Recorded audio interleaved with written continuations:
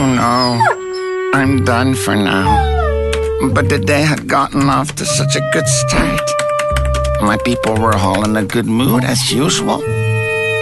Why are they looking at me like that? What have I done now? Did that box tell them something about me that would make them mad? Disappointed?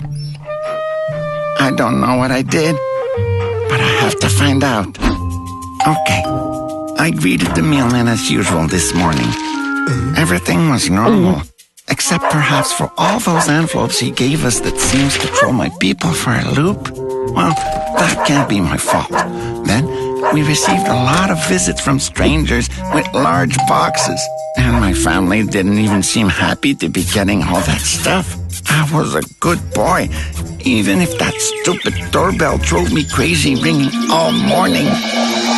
It wasn't until the police officers arrived that I realized that I was involved. They talked about a change. Why did they want to get rid of me now? Oh, don't worry, Sparky. It wasn't your fault. So, you all understand?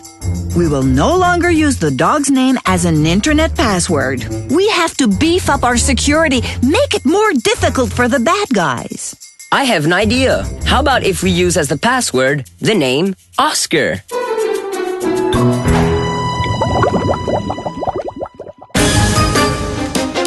We never know what life has in store for us. Fortunately, there's La Capitale for everything that's, well, capital.